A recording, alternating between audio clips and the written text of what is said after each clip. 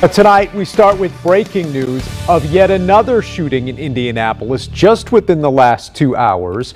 Right along the Indianapolis Carmel border, IMPD officers responding to a shooting near 96th and Keystone.